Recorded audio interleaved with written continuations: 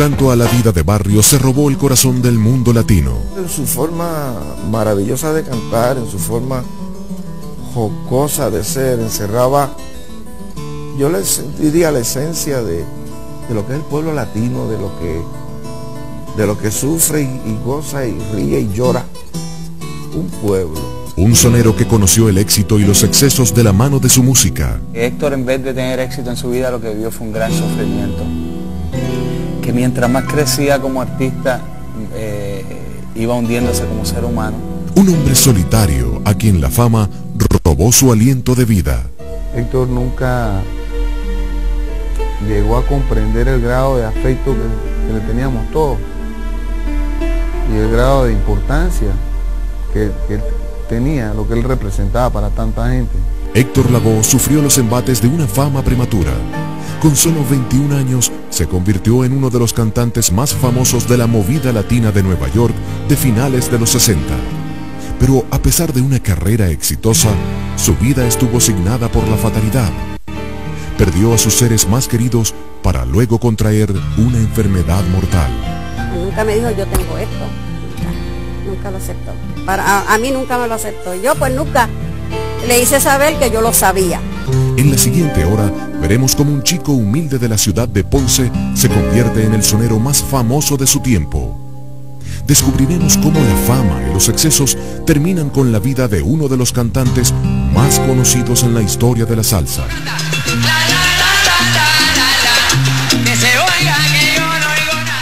Seremos testigos de la soledad que acompañó a este sonero a lo largo de su vida. Conoceremos una vida llena de son y de fatalidades.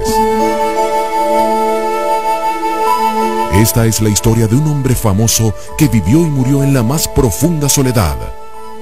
Es la historia del cantante de los cantantes. Esta es la historia verdadera de Héctor Lavoe.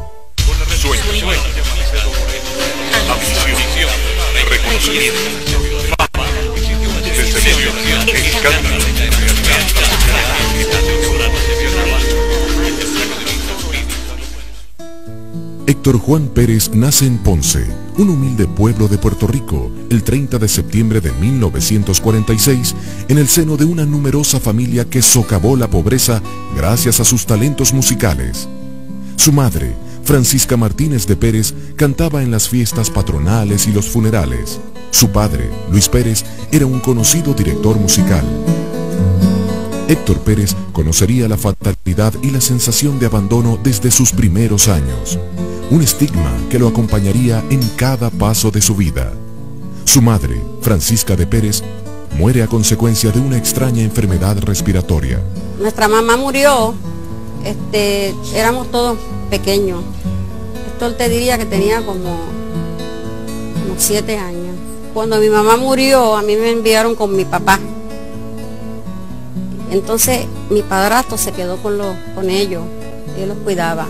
Su padre se convierte entonces en su protector y siguiendo la inclinación musical de la familia, decide inscribirlo en la Academia Musical Juan Morel Campos. Lo que pasa es que él a veces iba y a veces no iba y siempre le decía al papá que iba porque sé yo que era la elección que él iba. Yo sé que él siempre tenía una historia porque no iba. iba cuando quería. Héctor no era un niño de seguir reglas, por eso cambió su formación musical clásica para imitar a figuras de la música popular puertorriqueña, como Chuito el de Bayamón. Hay una cosa en él que él tiene una voz como de jíbaro. Entonces él cantaba como Chuito el de Bayamón. Y él ponía la voz como la de Chuito. Yo no sé cómo lo podía hacer. Yo lo que sé es que él en ese aspecto tuvo un triunfo que nunca más ha salido de las radios nunca más en la vida. Y él cantaba en las, fiestas de las escuelas, él siempre cantaba. Me acuerdo cuando tenía como 12 años, fue a casa y me dice, estoy ensayando. digo, ¿qué estás ensayando? Pues campanitas de cristal porque este, voy a cantar en la fiesta de la escuela. Y se puso a cantarme campanitas de cristal. Su determinación lo llevó a formar su propia banda de 10 piezas cuando apenas contaba 14 años. Entonces tocaba con sus amigos en los locales nocturnos de Ponce. Los viernes en, la, escuela había, un había siempre un programa todos los viernes que pues, pues, se, presentaban talentos eh, teatro, cantantes, instrumentistas, piano, conga, lo que fuera. Entonces se presentaban estos programas y ahí yo acompañé esto por primera vez. De ahí salimos una vez a un programa de televisión que era de competencia.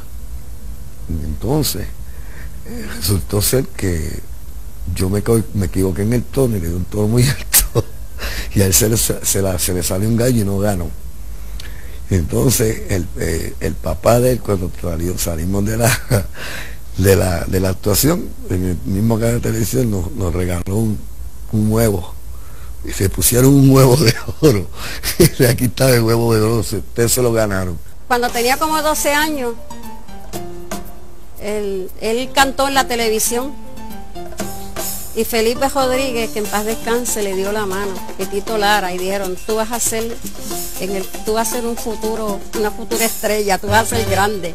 La aprobación del público fue inmediata. Enseguida quedaron cautivados con la voz de aquel adolescente que deliraba al ritmo de la música popular puertorriqueña. Ganar 18 dólares por noche era demasiado para un joven que ni siquiera había terminado los estudios básicos. En medio de las tentaciones de la noche, Héctor conoció la contraparte de la peligrosa dupla que lo acompañaría durante toda su vida. El éxito y la tragedia. Al regreso, un viaje a Nueva York marca el inicio de la vida de Héctor, el cantante. El cantante de los cantantes surge porque es el cantante favorito aún de los cantantes.